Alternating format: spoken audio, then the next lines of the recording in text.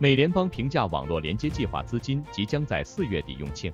联邦通讯委员会警告，如果国会没有动作，全美近五分之一家庭很快就会无法在家中使用网络，或者要支付天价网络账单。该计划用以帮助低收入家庭支付互联网服务和台式电脑、笔记本电脑或平板电脑等联网设备的费用。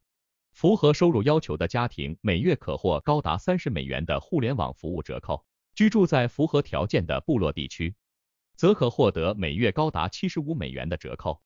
联邦通讯委员会表示，最快自五月起。两千三百多万美国家庭将面临断网，或者每年要多付几百美元才能上网。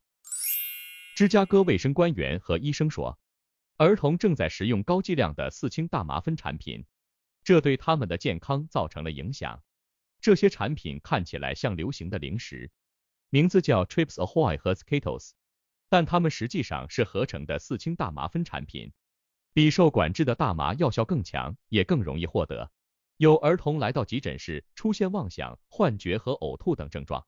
很多时候，孩子们不知道自己吃了什么。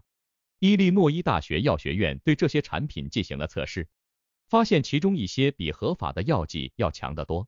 百分之九十三的受测食用产品包装标签上的四氢大麻酚含量不准确，误差范围从百分之六十一到百分之四百五十六。其中一种零食中的四氢大麻酚含量。更比伊利诺伊州大麻法定剂量高出七十倍。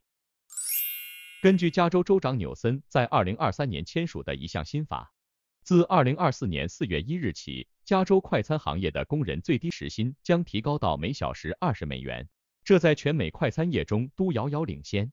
得益于这条新法，加州将有超过五十五万的快餐员工收入提高，快餐店员工年工资约三点四万美元。但此种用工成本压力恐怕会转嫁到消费者身上。目前，加州已经有多家连锁快餐店放出风声，快餐价格将随之上涨。不过，也有知名快餐店在提升自动化程度方面努力，以提高员工工作效率，对冲最低工资上涨的影响。莫斯科巴斯曼地区法院三月二十四日裁决，下令拘留莫斯科音乐厅恐怖攻击中的四名嫌疑人，并等待审判。法庭声明说。四名嫌疑人都被控犯有与攻击有关的恐怖主义行径，并面临终身监禁。有三名嫌疑人有对所有指控认罪。据悉，该袭击事件已造成一百三十七人死亡，其中包括三名儿童，一百八十多人受伤。伊斯兰国恐怖组织声称对此负责。